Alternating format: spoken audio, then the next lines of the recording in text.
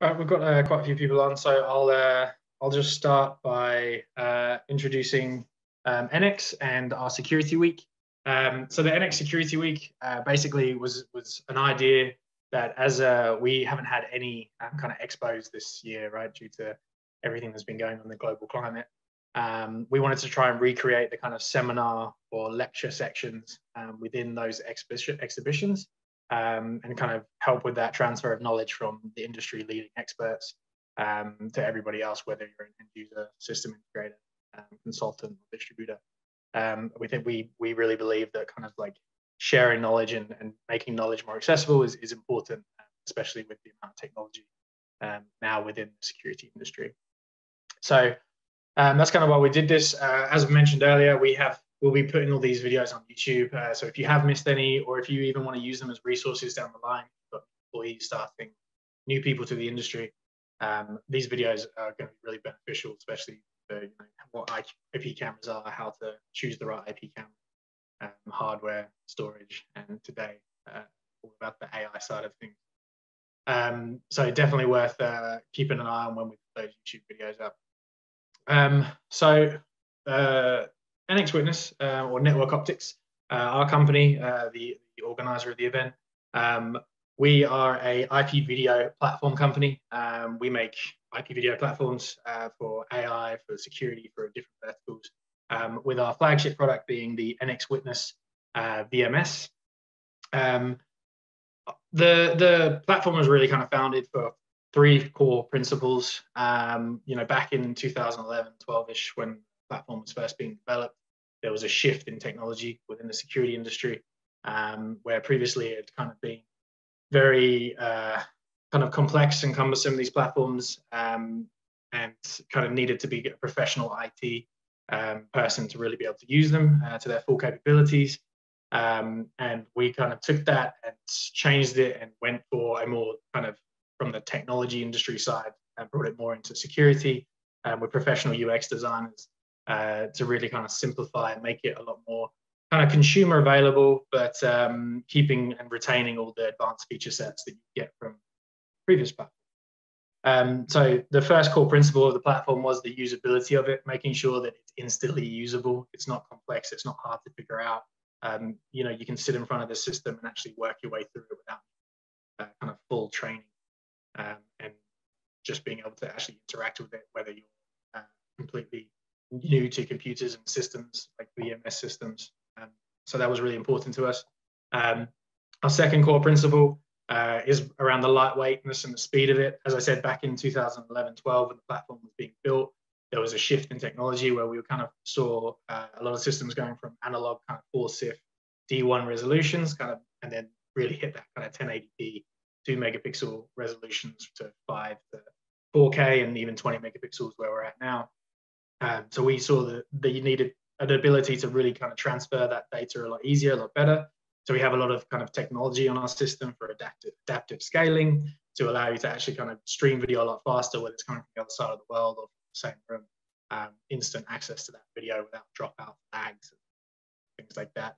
Um, and then the third uh, core principle, which uh, kind of ties into to what we're discussing today with the AI side of things, um, is the extensibility of the system. So systems have become a lot more custom um, in terms of their requirements. The days of just like putting in a box and recording videos kind of gone out the window now. Um, you know, with a lot of IoT devices, um, computer vision, AI, um, people want very customized solutions to fit their exact requirement. Um, and our platform with the open APIs and REST-based APIs, uh, Meta SDKs, and allow you to really uh, get quite flexible and custom how you deploy systems now. Um, so just kind of a different look on how uh, other systems previously versus how we kind of like see the market. Um, so on that note, uh, I will bring in uh, Dr. Rob Dupre from uh, VCA Technology. Um, really good talk this morning, so I'm actually excited to see it again. So Rob, do you want to take over and, uh, and start? Sure. Yeah. Thanks very much. So yeah, uh, a big thank you to NX um, for providing the opportunity. Um, as uh, as we said, my name is Dr. Rob Dupre. I'm the product manager um, here at VCA Technology, uh, and I've got a little uh, uh, walkthrough in terms of what we think are really the ev- evolution of video analytics.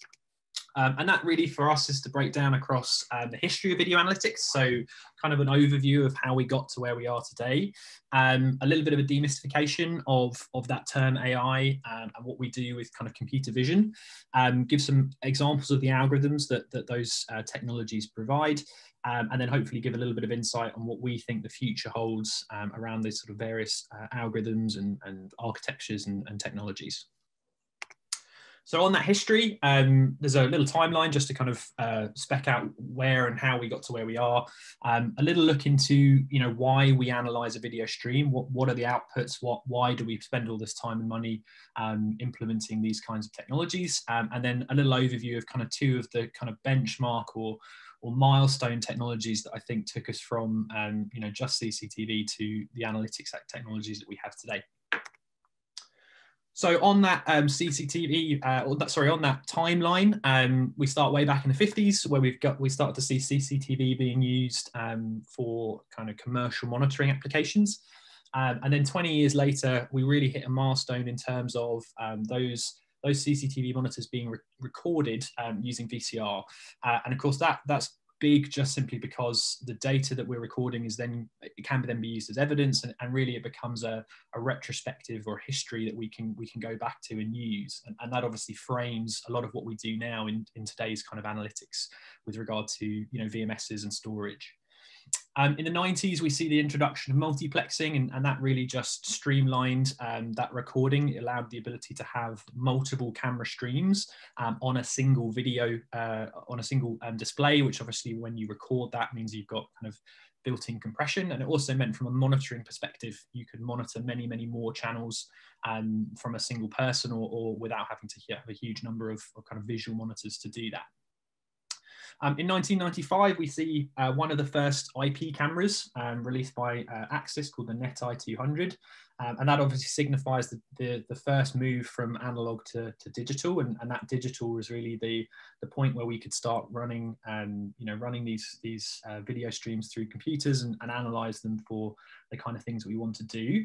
Um, and 10 years later, we, we see that first camera with uh, analytics built in on board at the edge, um, doing, you know, the kind of entry level, what we was considered the, the best analytics at the time. And that was by a company called Intellio. Um, in 2007, uh, we first had our, our VCA technology um, analytics platform uh, on a camera uh, made by UDP. Um, and up until 2018, uh, we released something called our VCA Core uh, Analytics platform. And that was really the first time that we'd released um, analytics solutions that were powered by deep learning algorithms or, or AI. Um, and that VCA core platform is something that we obviously continue to develop. And, and actually, we had a, a, very recent release of that a few weeks ago where we introduced some more DL algorithms and more features and functions.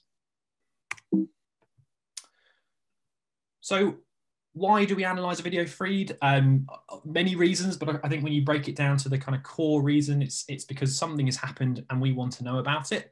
Uh, and of course, we want to do that in an automated way. Um, we want to take away that kind of human monitoring aspect as much as we can, um, filter out a lot of that noise. So, you know, we are sending alerts or generating information that can be actioned um, and hopefully isn't wasting too much time and, and is, is kind of providing real value for, for the various application there are kind of two sides to that in terms of um, we don't want those alerts to be generated uh, too generally. So let's say, for example, we generate an alert every time we detect movement. Um, you know, we're going to get false alarms from things like trees moving or illumination changes or, or maybe small animals, for example.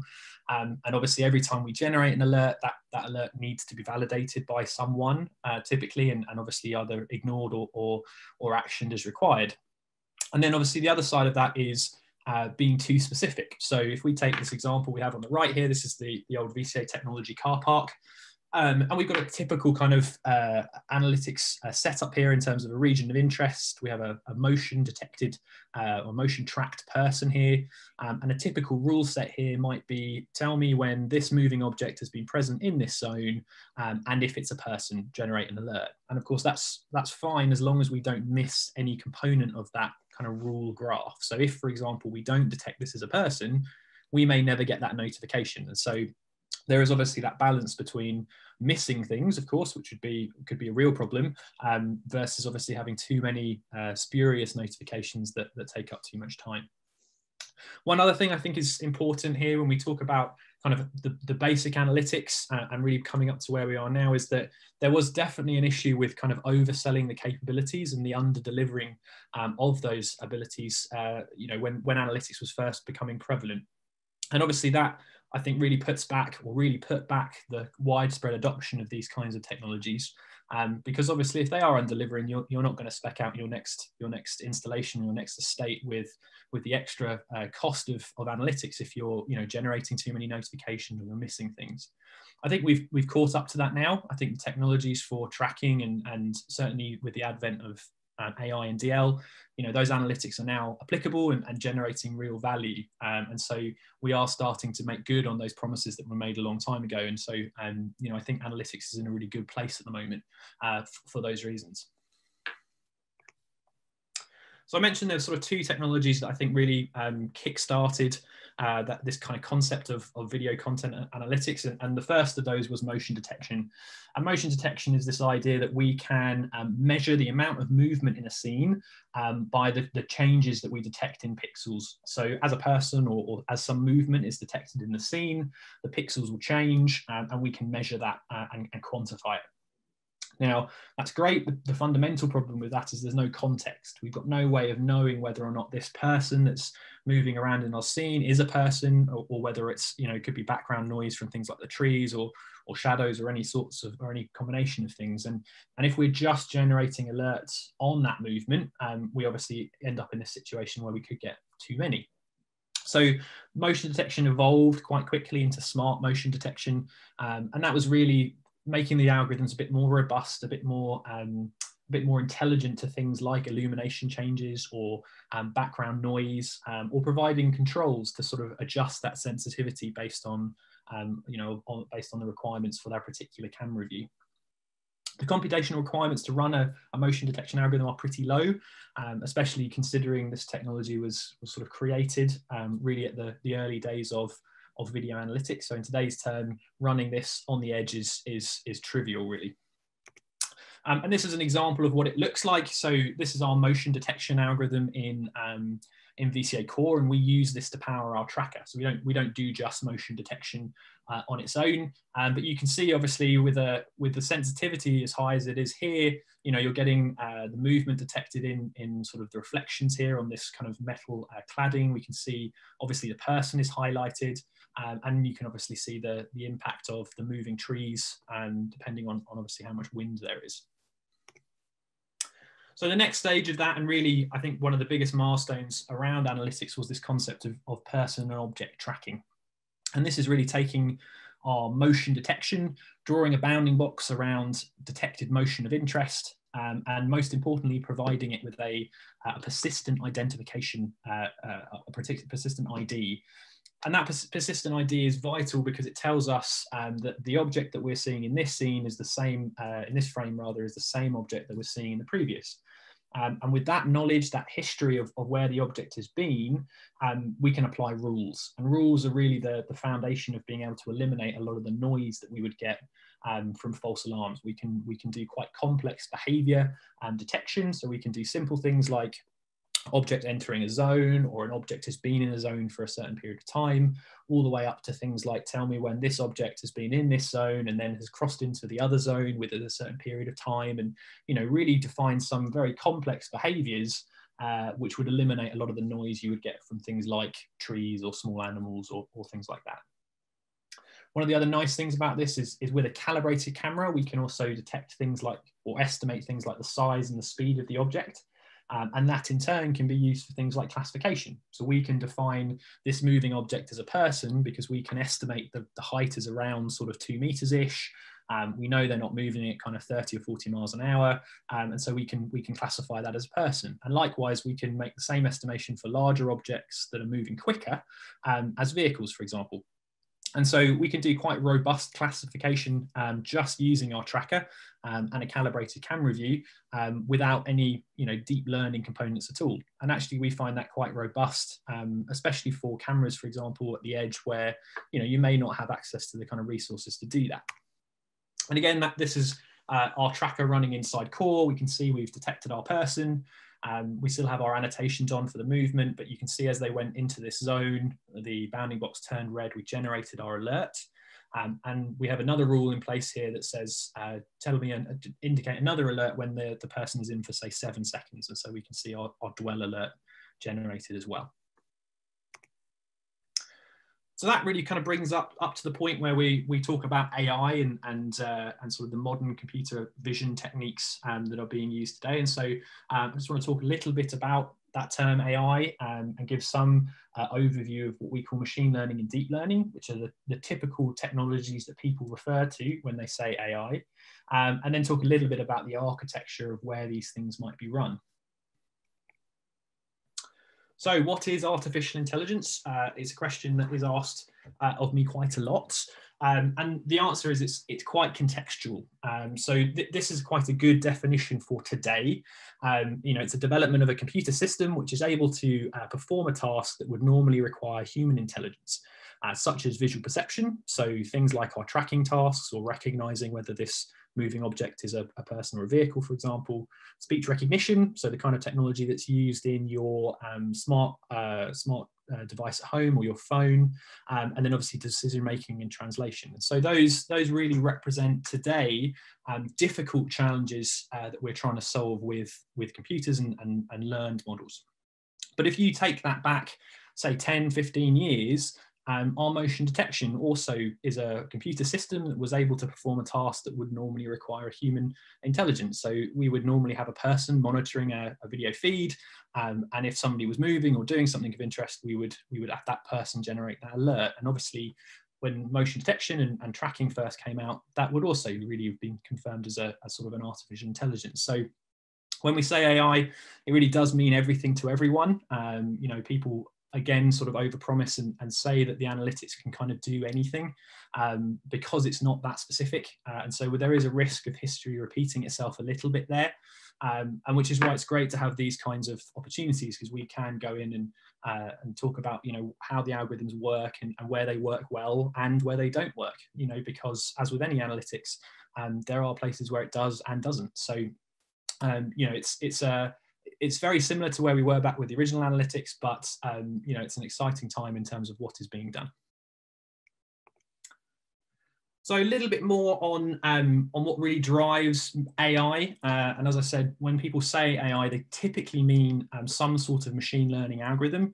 Um, and that can either be a deep learning algorithm or, or, what I would call sort of a traditional machine learning algorithm, which really for us represents anything that's not a not deep learning.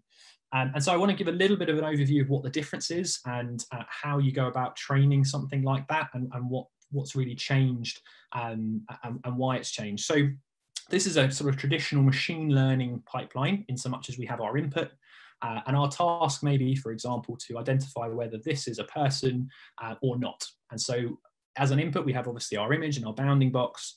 Um, and what would be traditionally done is we would try and describe this object to the computer um, in a way that highlights a particular property of that object that we think would best represent a person. So it might be things like shape, it might be color, it might be texture, um, but it's a there's a human in the loop component here to designing uh, this sort of description of, of this object that we can then pass to our machine learning algorithm to learn the difference. So once we've developed our descriptor, we take lots of samples of people, we, we describe them with our feature descriptor, uh, and we pass them to our algorithm, and then we take lots of examples of not people um, or whatever our other class is.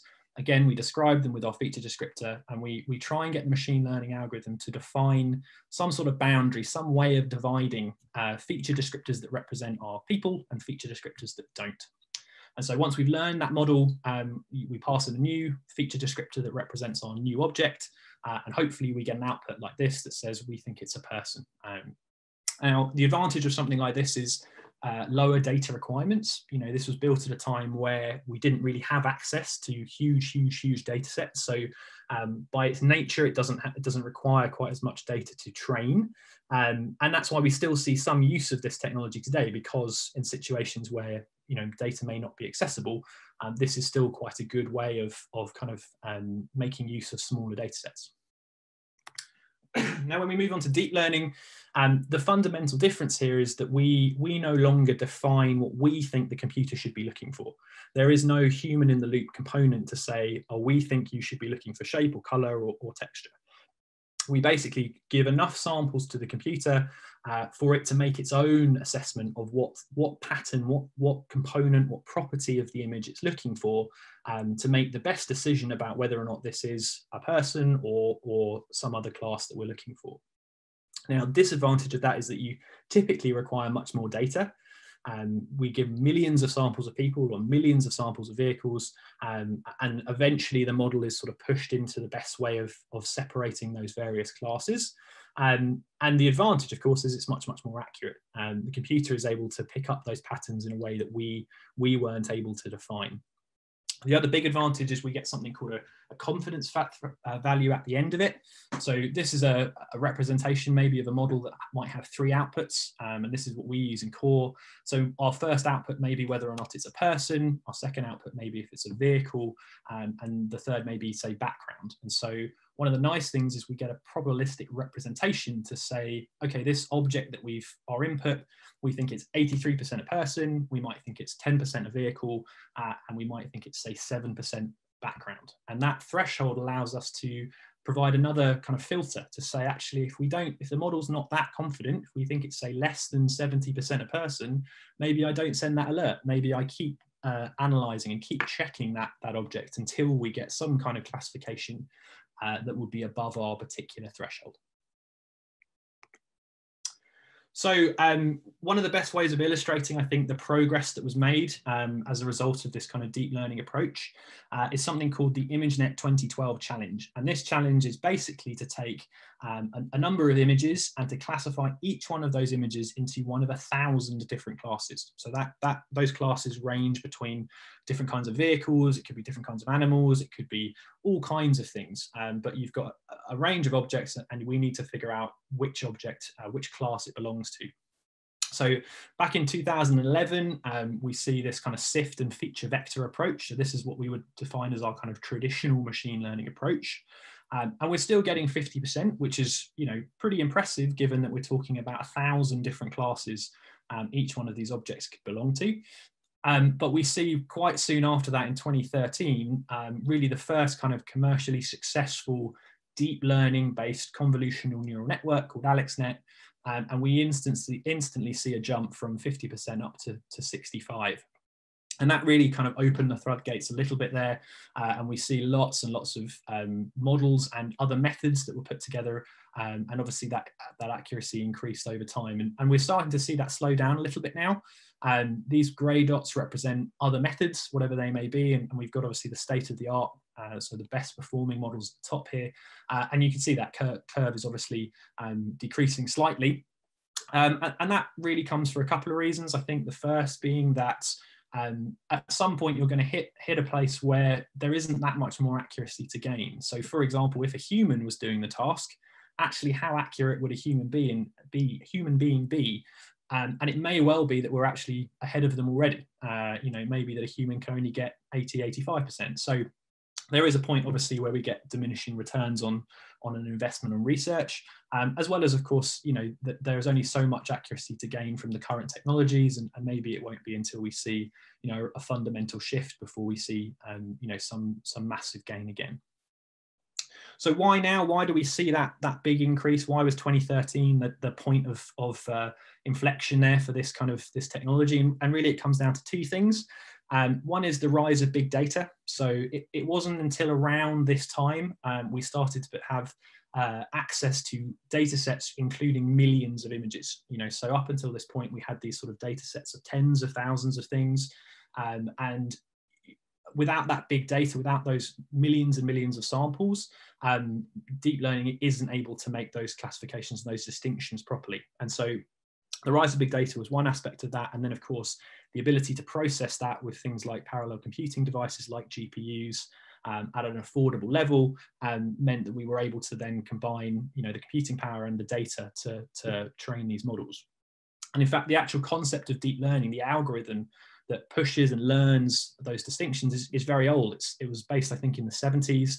um, but it just wasn't viable at the time because there wasn't enough um, compute power to, to make it work. And so, um, you know, those things aligned and, and, and we are where we are today. So a little bit on architecture. Um, th this, of course, is quite a big subject in terms of, of how you want to configure uh, an AI-enabled analytics system. Um, you sort of, I think the utopian dream, of course, is to have some edge devices uh, like you know AI enabled cameras, for example, that can process the video um, and then and then do something with that, maybe send that information up to the cloud.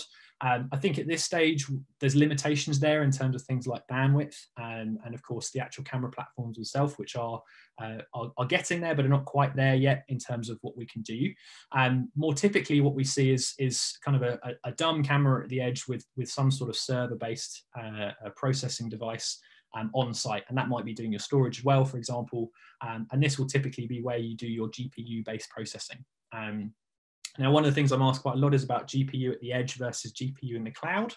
Um, and, and, cloud processing has a major advantage in that it's on demand. So if I'm only doing my security-based analytics from you know 6 p.m. through to 6 a.m., I only need that hardware sort of 12 hours a day. And so um, to buy servers and maintain servers uh, basically 24 7 seems quite expensive but actually at the moment there's not a huge difference in price there. And um, you know certainly when we were setting up our architecture at the at vca um, we still buy dedicated hardware just because the cloud bill would be too expensive. And so that will of course come down um, but i think certainly for the foreseeable future and for the next couple of years i think we'll still continue to see um, this kind of implementation uh, until those kind of bandwidth and, and data security and, and various other um, constraints are, are eased slightly.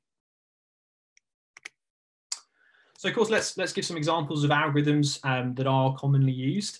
Uh, and, and, for us, there's sort of three main ones. The first being um, detection and classification. And so this is the idea that I can pass to a, uh, a deep learning model my, my image frame, my uh, frame of video, uh, and it will come back and tell me where the objects of interest are and of course what they are. And we've got this percentage confidence score again that we can see here. Um, and these are great. You know, we, we can get nice, mature, off-the-shelf models um, that detect a large number of classes. So not just car, it could be bus, truck, uh, but you know, all kinds of sort of vehicle types, um, as well, of course, people and things like that. And and those are readily available. And there's lots of frameworks to support them. And you know, so so a solution can be put together very quickly for security and for um, kind of general analytics, there are a few components that are missing there a little bit. So number one, we have no concept of whether or not um, this person is the same person we saw in the previous frames. There's no tracking there um, to say, uh, you know, that we have that kind of consistent ID that we can then apply our rules to. Um, and obviously rules become such a major part of analytics um, that it's, it's, it's vital really for it to, to function. Um, and of course, there's no concept of whether or not this is a, a, an object that I actually want to know about. So if this there's no way of detecting whether or not this car is moving versus another car that might be. And so um, you know there needs to be some something else there to kind of add the context to really make it applicable. With this kind of algorithm um, we run it every frame. We have to run it every frame otherwise we don't know what's in the in the frame. So there is a gpu overhead there. Um, but that's typical with with these kinds of algorithms now, pose estimation is, is, a similar kind of concept. So this is basically a detection and localization algorithm that is focused entirely on people, um, but it has the added benefit of, of defining um, key points of, of that person. These are typically um, joint locations. So it could be left and right knee, left and right hip, for example. Uh, and obviously if we, we can then map those together to pro provide a kind of a, a skeletal representation of a particular person. Now, again, this is run per frame. Um, there is a relatively high GPU cost on this, but again, they're coming down as the models um, improve, uh, as well as the models being quite robust. You know, they are able to handle quite complex scenes. You know, if we wanted to do motion detection on these kind of scenes, we wouldn't stand a chance. And so um, these kind of models are great because they are they can handle things like occlusion. Um, you know, they can handle very complex range and distance, uh, and so are very good for this task of of detecting um, whatever they're looking for. Now, of course, we have the same problems. They're static objects. We've got no way of knowing if they're moving or not, uh, or of course, if it's the same object between frames. And so on top of that, we need to build something on to, to kind of unify all of those um, components. And so at VCA, we've done that. We've developed something called the Deep Learning People Tracker. Um, and that takes a, a pose estimation model, um, applies our tracking technologies, uh, and gives us kind of the best of both worlds. And the reason we've done that is really for uh, this exact example. So this is a, a, a typical camera view um, for installed for a security application in, in a retail store. Um, and it's obviously installed to monitor people going in and out um, via this entrance. Uh, and if we wanted to use that camera to do analytics, if we wanted to use motion, we just, we don't stand a chance. This is motion analytics um, annotated on here. Uh, and we, we couldn't get really anything useful out of that. And actually, if we wanted to do analytics on this, we would typically have to have maybe another camera mounted, um, probably vertically. We would do maybe line counting, uh, and of course, there's no there's no crossover there. There's no way I can use that vertically mounted camera to do security, and I can't use this camera to do analytics.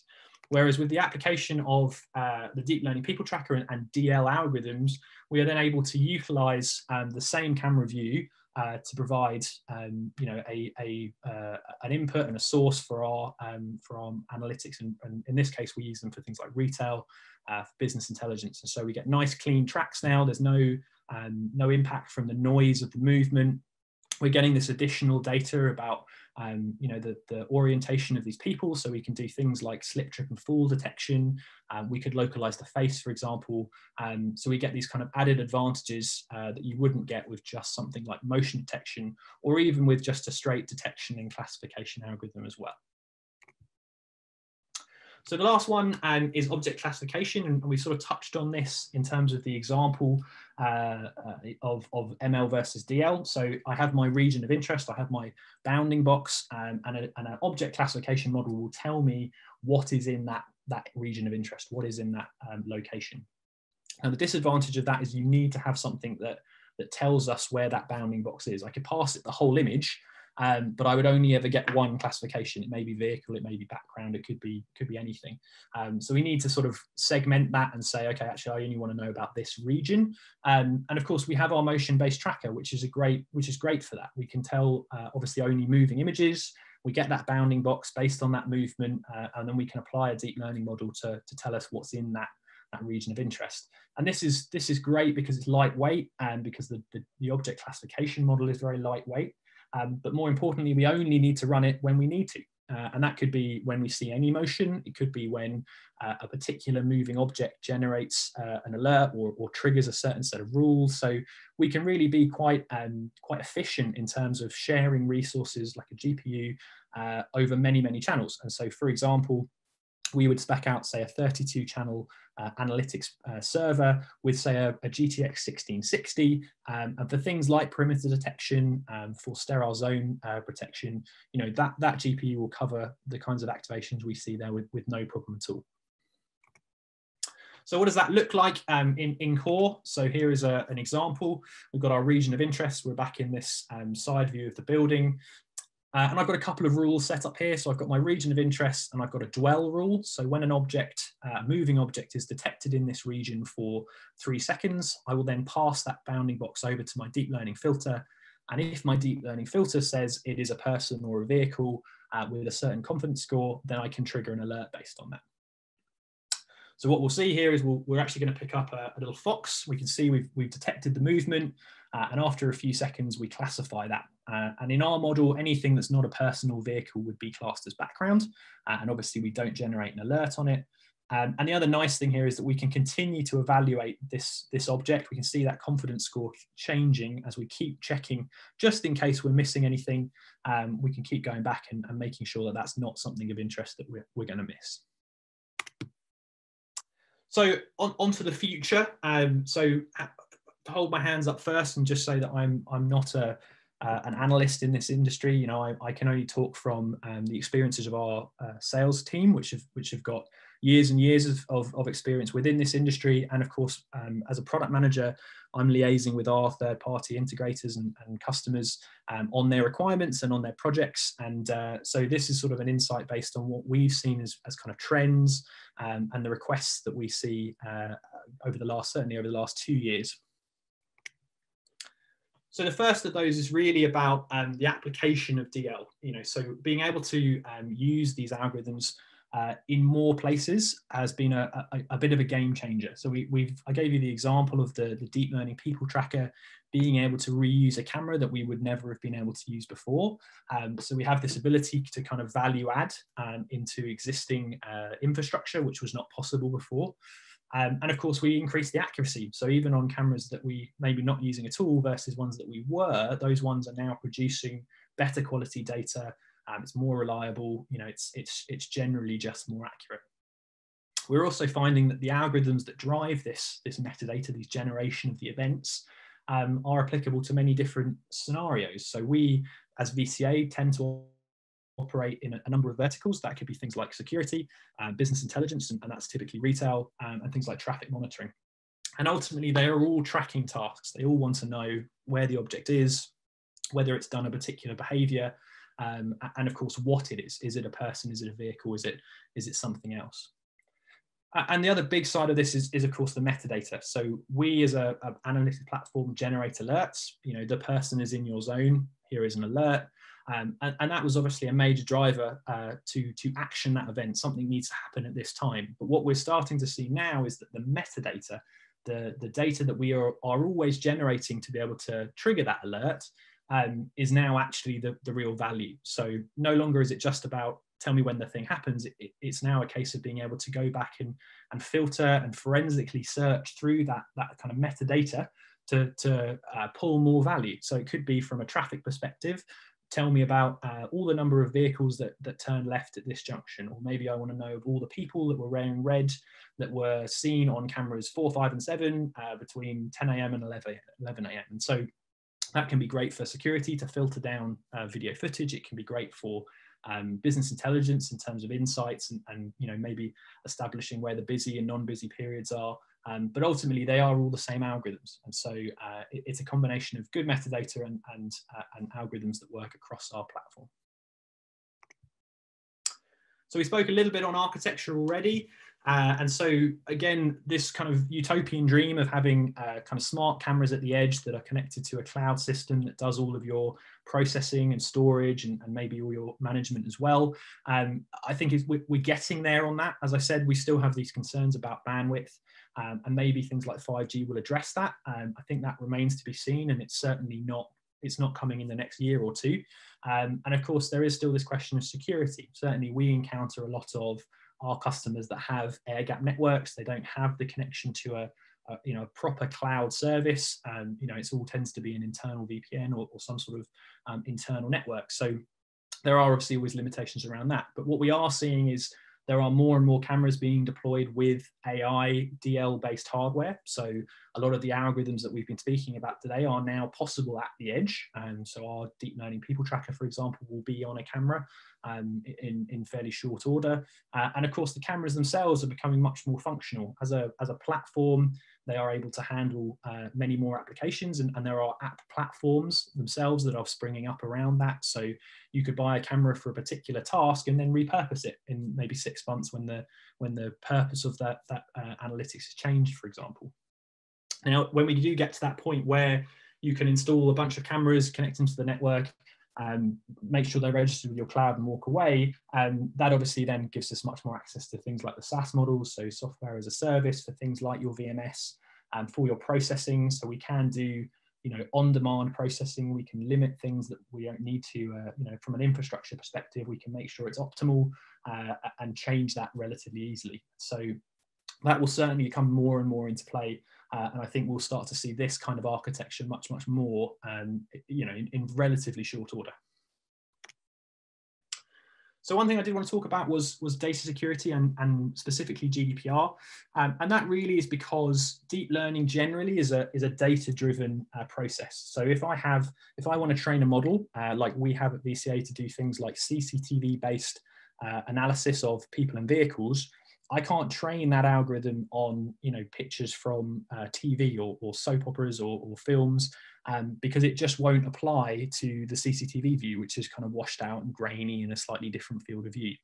And so when we when we talk about deep learning, it's very much a rubbish in, rubbish out. My my input data, my training data needs to represent my uh, my output. It needs to represent where this model is going to be deployed. And so for things like data, um, and security and, and, the various places that we tend to operate, um, obviously GDPR and, and you know the, the rightful uh, recent approaches to data privacy make collection of that data very challenging. And so um, certainly in the future, we will need to find new ways of, of training those algorithms, new sources of that data. Um, and there are a number of options already. So I spoke about public media and, and the pros and cons of that. Um, but we have CGI. Anyone who's watched a, a, Marvel movie will know what is possible in terms of you know photorealistic representations of things. Um, and there are also neural networks, deep neural networks, um, the generative adversarial networks that can generate photorealistic um, data. And so we can almost have deep learning networks training deep learning networks. Um, so there are there are options, and and there is another technology called uh, transfer learning, which is the ability to take a model that's trained to do one thing, that's trained on a specific data set. So again, we might train it on public media, uh, and then we might fine tune that network on a much smaller data set of, of very specific data. So it could be, for example, um, our CCTV footage, we may have tens of thousands of images, for example, uh, as opposed to millions. And so there are ways around it for sure. Now, lastly, um, you know, what, what actually do we think we're going to see uh, in the future in terms of algorithms? And it's a difficult one. Um, certainly, the actual problem that we're trying to solve in terms of the presence of an object in a particular location and the alerts that we want to generate around that hasn't really changed. You know, it's we still want to know whether or not the person is there, or is it a person, is it a vehicle, um, and that and that's the same all the way back from you know to the 50s when we first started seeing CCTV. Um, what we obviously are seeing is is algorithms becoming lighter and faster and more accurate. Um, and you know, I think we've we've certainly seen that massive influx of, of accuracy, and, and I think there will be that slowdown that we spoke about in relation to that ImageNet task, and I think we'll see that in the industry a bit. Um, there is this term AI winter, which is this idea that we've kind of hit the kind of local maxima of, of what is possible with the current deep learning approaches. Um, and that maxima is, is generally attributed to things like the, the ever increasing data requirements and, and, the problems that we've just spoken about in terms of acquiring it, um, as well as the fact that even if we had millions and millions and billions of samples, um, the compute power required to train that and the time uh, is just too massive. And so I think until we see a, a fundamental uh, redevelopment of the algorithm, um, we won't see a major change in, in things like how accurate and, and, and, the approach to solve the problem. I think what we will see um, is things like deep reasoning. So this is this concept where at the moment I can obviously tell you whether the object in your car park is a person or a vehicle, but I can't really do anything more than that. Um, you know, I can't say whether or not that's that's John from accounts uh, and he's coming back because he's left his keys. Uh, whereas a security guard may be able to do that. He may have been on his rounds, he may have seen the keys on the desk, he can recognize John from the CCTV, he might be able to unlock the doors for him automatically, you know, enable the lifts, do all that kind of stuff, um, which a deep learning model just can't do. It's got no common sense, no ability to plan or predict. Um, you know what the needs of, of a particular system will be and, and so i think we'll start to see systems that are able to do that to apply data from different sources um, that are certainly working at a more generic high level. Uh, so that's certainly one side of things. Um, I think the other big advance we'll see is the use of unsupervised uh, learning. And this is the concept where at the moment, if I want to train a model to do a, a particular, let's go back to our, our, classification task, I need to label that data. I need to know that my 100,000 pictures of a person are people, and I need to know that my 100,000 pictures of vehicles are vehicles. Um, and so there is a, an overhead, a cost to labeling that data. And so unsupervised learning basically uh, at, a, at a low level just divides all of our data, if we don't label it, um, into a, a, number of classes, whatever those classes might be. Um, and then we can go in afterwards and say, okay, well, you all of these squares that you've put together, those are all people. All of these triangles that you've identified, well, they're vehicles, and then everything else is background. And we can we can then use large amounts of data that would unprocessed, unlabeled data um, to train our models in a much more efficient way. And maybe that will be the input to training another model, or it may be just um, that we use that already trained model to, to analyze our next object. So just to sort of summarize, um, obviously deep learning has really progressed analytics and, and deep learning AI is that term, um, has obviously really expanded on, on what we can do and, and how accurately we can do it. Um, and although we th those requirements are coming down for running those algorithms, there is still uh, there's still a requirement to have sensible approaches to do that. So one of the reasons the deep learning filter is the way that it is is because it's very practical to run that at a state at a relatively cheap cost. Spoke a little bit about data access and, and the impact um, of GDPR and, and, getting hold of that data. And I think that will slow uh, development of, of the kind of algorithms that we're seeing at the moment. Um, and really that kind of innovation will shift to not what we train, but how we train it. Um, and so I think we will see kind of new approaches to labeling data on mass and, um, and maybe that uh, data creation in terms of CGI and, and, uh, and photorealistic data generation. Um, and then lastly, I think kind of two of my most important points in, in regards to this is that those analytics requirements aren't are certainly slow to change. And again, I don't think they've changed a great deal over the last few years. Um, and of course, for us, certainly metadata is the future. You know, there's the, the algorithms that we now run produce really high quality metadata. Um, and that is what we're seeing is the major requirement um, and the major use cases for, uh, for projects and, and certainly our third party innovators. So metadata is, is the future and that's it. Thank you very much for listening and uh, very happy to take questions or, or uh, any questions, just get in contact. Yeah, thanks, Rob. Uh, again, really good presentation. I actually picked up on some stuff that I missed the first time. So um, if anyone wants to ask questions or uh, or has any questions to ask, feel free to use uh, the chat or the, the Q&A section at the bottom. Um, if you can't see it, if you hover over your screen, you'll see them pop up. Um, we already have a couple coming in.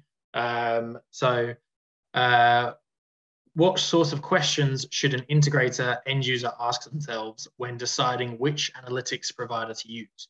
Are there any gotcha questions, indicators about the tech you'd recommend to qualify a vendor's solution, solid versus question? Well, that's a that's a good question. Um, I mean, it, this obviously covers a, a, large number of things, and I think really, ultimately, comes down to the requirements of the project. Um, you know, th- there are lots of approaches to solve very similar pro- problems. So I've spoken about the fact that you know ultimately we're trying to detect or classify or do some some task that I think we've all, all been doing for a long time, uh, and so really when it comes to if the requirement is there to apply an AI algorithm, often it, it's really a down down to um, accuracy. You know, if I want the most accurate solution, I can probably have that, and I might get four or five channels on a on a big beefy server, and it might cost thousands of dollars a channel um, to be able to analyze that. And actually, if I just cut that that requirement in terms of false alarms or, or that accuracy from you know 99.9 down to say 95 or 90 percent, it may be I get to a point where I can have hundreds of channels running on that same server. And so, as with most things, I think it probably comes down to cost. Um, but yeah, it, it's really about what the expectation is of the system. Uh, and this again also slightly ties back into that, that term AI. And so people say, oh, it's AI, it's going to be super accurate. And in, and in lots of cases, it's definitely better, um, but it's never going to be 100%. And so, you know, in some respects, it's about balancing the, the expectations of the user as well as the requirements of the project. Yeah, for sure. I think uh, always making sure that stuff's not overpromised um, is mm. key. There's a lot of people at the moment the AI sector that uh, say a lot of uh, what can be done rather than what's actually possible right this second. Absolutely. Um, so. Yeah, definitely key to look out for like actual examples of uh, the AI um, rather than just based on verbal um, kind of confirmation of what can be done. I think it's important. Yeah. certainly, one thing that we spend quite a lot of time doing in regards to um, when someone comes to us and says, "Will your analytics do this?" We the first thing we ask to ask for is video footage. So if, if we when someone comes to us and say we're trying to solve this problem, and um, the best thing you can do is go here is a video of, of something happening, and I want you to show me what your algorithm can do on it. Um, and that that is a great way of assessing whether or not their a particular vendor's analytics is going to do what you want it to do. It's not always pragmatic. Access to the data can be challenging, but um, if you really want to know how good someone's analytics are, just tell them to annotate a video um, of their problem, and, and that's a pretty good indicator. Yeah, for sure. Um. A couple of uh, questions Oscar's just shot over that were asked this morning as well, um, just for everyone that's on this this call to hear them. Um, so, what is the most commonly requested uh, analytic um, in the security market based on obviously your experience at VCA? what yeah, what's the most commonly requested AI that people are Sure. So, so um, about 70% of VCA's business is on is in security, um, and typically security for us is around uh, property protection, so perimeter protection, sterile zone uh, monitoring, things like that. Uh, and so for us, one of the things that we're requested for a lot is is just reducing those false alarms. If in a situation where I've got movement detection. So I might have tracking, or I might even just have motion detection. And I, I want to kind of reduce those false alarms and reduce my overheads for things like the RVMs and, and the monitoring of that site. And so uh, I spoke about this kind of problem about air gap networks and not necessarily having ac access to particular cloud services. And so for us, we needed to find a solution that kind of did on-site edge validation or verification. Uh, and so that's really what the deep learning filter was about. It was a uh, a request to say, look, I need to reduce my false alarms. I'm, I, do not have, you know, the ability to send this stuff to a cloud and come back down again, uh, and I don't want to spend thousands of pounds on a server. And so we needed to find a lightweight solution um, that would allow us to reduce those false alarms, verify whether or not a particular thing is a person or a vehicle or a thing of interest. Um, and so certainly that those were the kind of two big requirements that uh, we are very often asked to solve. Yeah, for sure. Um, and another one uh, we've got coming in. Uh, so this was a question from this morning as well. Um, so regarding the AI data collected um, for the deep learning, who owns the data? So the AI company or the right? So like, um, are AI companies harvesting data from deployed sites effectively? Yeah, I mean, obviously I can't speak for other companies, but um, VCA specifically doesn't. Uh, we are we've actually just gone through fairly heavy um, uh, a rethink of, of GDPR and, and, you know checked all our processes in regards to the, the new legislation. And and for us, uh, we don't store anything. Uh, so you can obviously send uh, alerts and metadata and information from a VCA system or, or a camera, for example, to your VMS and store that, and that's absolutely fine. But we don't ever see that data. We don't see any information, any statistics, any usage of that of that data at all. Um, it would be great if we could. It would mean we have access to more and more data to train our models, but actually when you start considering the issues around consent and making sure that that data collected is, is in a proper is in a, an official and proper way um, it all becomes very spicy. And so in some respects it's fear. We just don't get involved because um, you know we have other uh, ways of accessing data. We have partner companies that we work with uh, who come to us and, and, ask us to solve a problem and provide data that's correctly uh, obtained with that.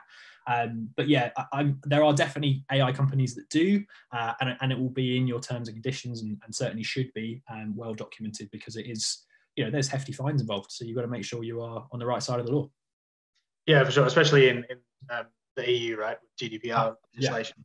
Yeah. Um, so probably, obviously, if it's a standalone system, the chances of them harvesting data is going to be quite slim because it's it's on it's on your own um, kind of on-prem. Um, if it's a cloud-based solution, then something you should probably just double check or look into. Something that's uh, of concern. Um, so another question here, this is probably more from my side. So are all VCA analytics integrated with NX Witness VMS so that objects and paths are shown on top of video in NX Witness and users can create rules slash search video based on metadata generated by VCA? Uh, so we had this question this morning as well. Um, so yeah, the, the Meta plugin um, I believe is either out now or is coming out shortly. Um, we've been working with VCA for a long time, so we've always had HTTP events and notifications from all the alerts from the VCA system. Um, but either, like I said, coming out soon or come out already, uh, we now have a full um, integration with our Meta SDK, and that allows you to actually have the boundary boxes, have all the region of interest as well, so you can change all the region of interest depending on where you want the zones to be that you're detecting uh, movement or tracking uh, people or vehicles. Uh, Rob, I think you said you're not 100% sure if it's out yet either. That's correct. Yeah, it's, it's not actually my product to, to manage, but um, yes, there's been lots of work on it. So I think it's it is imminent, if not out now. Yeah, yeah, we have a, a, a an OEM in common, so uh, I believe uh, it should be pushed out very soon. So uh, yeah, that, that that will be coming out soon. If anyone wants any more details or any questions on it, uh, feel free to reach out to myself. Um, or any of your NX sales reps, whoever's your main point of contact, or if you don't have one, uh, you can email sales at optics.com um, or reach out to Rob, whose uh, information's on the screen, and we can sure get you demos and stuff set up. Absolutely. Um, question in the chat as well from Tony Luce.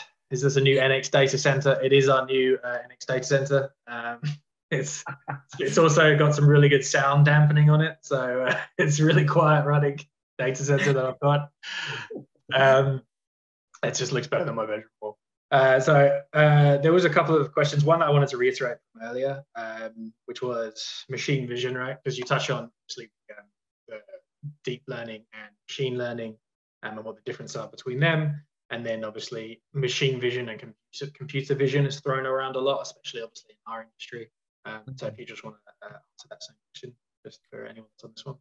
Yeah, I mean, as you say, these are all kind of terms that are thrown around a lot, and, and actually, often they're all meaning the same thing. So, machine vision, computer vision is really the concept of applying some learned model or some some AI concept in inverted commas um, on on video or, or imagery uh, as opposed to something else. So you know a machine vision algorithm uh, wouldn't be able to take as an input for example speech or, or some other kind of modality of data uh, and typically that that applies to um, only video or, or, imagery to start with uh, but ultimately it's it's kind of like a hierarchy so really deep learning is is a particular type of algorithm um, and it, is actually a type of machine learning uh, or a machine vision learning algorithm if it's applied with data uh, and, and machine learning and deep learning all kind of comes under this umbrella of, of AI.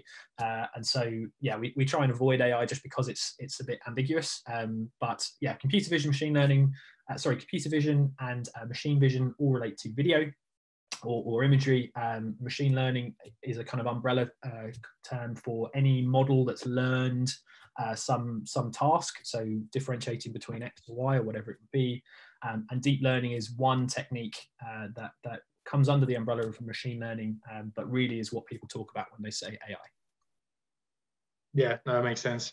Um, so then we had uh, the question. You you obviously brought up deep reasoning towards the end there. It's kind of like the, the, one of the trends where people are going because obviously the classification side is kind of hitting its its peak. Um, mm. So then it's more like what can you do with these classifications, right? Yeah. Um, so kind of similar to a question that was asked earlier. Um, so when we start doing these kind of um, AI systems, is it going to be the classification done with deep learning and then the business logic will be tying everything together? Or are we going to be able to start programming that complexity into an actual AI engine that starts on its own, realizing, um, oh, Bob's left his keys, he's driven back in, so let's open the door. Bob, he's, uh, yeah. he's keys. Yeah, I mean it, it's it's a difficult one. Um, certainly at the moment there is quite a clear divide on that. And so you have you have particular deep learning models or, or machine learning models that perform a task so detection of your people uh, or, or, you know classification or whatever it would be. Um, and it might then be that you train a another model to uh, amalgamate all that information and maybe take as inputs your kind of decisions and other inputs from various other data sources uh, and then combine them in a particular way uh, it, it's all about training a system with a particular output. So you have to be able to, for a system like this, to say, well, if if it's this, this, and this, this is what I want you to do. And obviously, in in kind of a traditional machine vision task, you know, we showed a picture of a person. We tell the system that you should be thinking this is a person. Uh, and if we do that enough times with enough samples, then that's the hope is that the next time it sees a person, it says person. And that would be the same with the decision support system. You would want it to be able to um, take as a bunch of inputs uh, you know your various different systems whatever they might be uh, and then produce an output that, that is useful to you and so we might get to the stage where you just have a, a kind of mass system that's monitoring all your cameras and, and kind of doing everything in one go um, I think that's very far down the line. Um, so I think at the moment it will be a business logic system where you have two separate models doing two separate things, um, each quite clearly defined.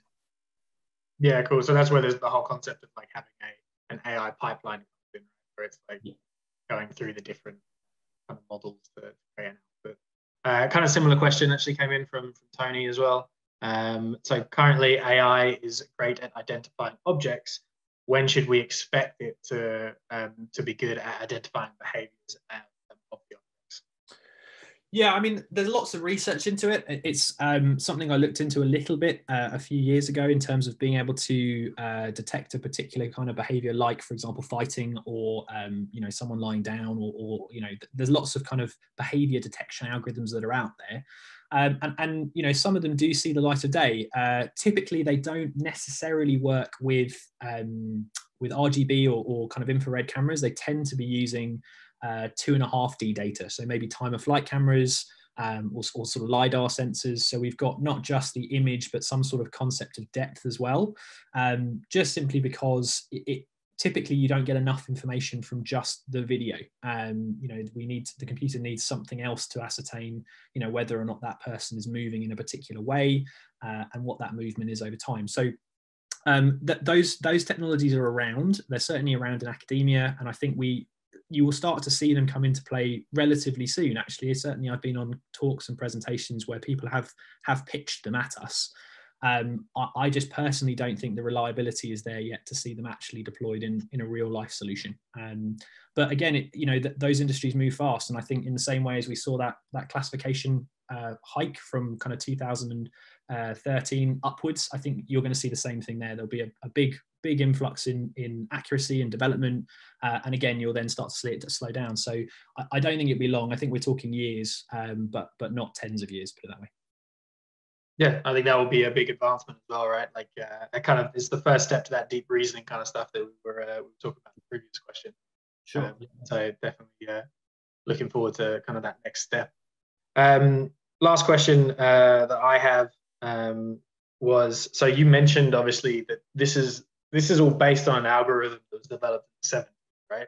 Mm. Um, so if we didn't have the data sets and the, the, computing power in the 70s, kind of what was the, the kind of the algorithm? Was it just a conceptual thing, a bit like when Leonardo da Vinci invented the helicopter, or was it um, yeah. actually like implemented in some way? Yeah, I mean, it's so um, yeah. So when it comes to academia, there's there's kind of two approaches when you want to publish a paper. One is that you can do it from kind of an engineering standpoint and say, I've developed a thing. This is how good it is and how, how accurate it is on this data set, and and you sort of proof it that way. Um, the other option is that you math- mathematically prove that given a particular set of data or numbers or, or inputs, um, I can prove that mathematically it's going to provide this output at the end.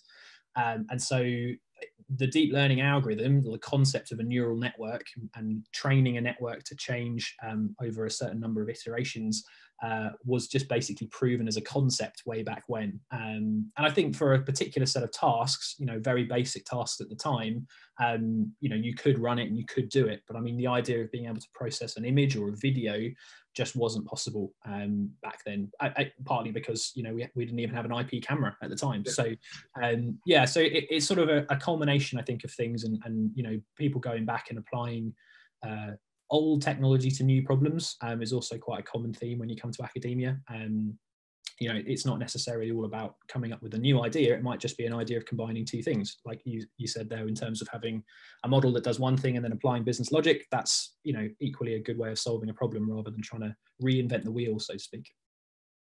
Cool. Um, all right. If anyone uh, if anyone else has any questions, please feel free to ask away. Um, this uh, webinar or presentation will be available uh, on our YouTube. So if you found it helpful or thought it was a, a, really good presentation, please feel free to share it with anyone you want to.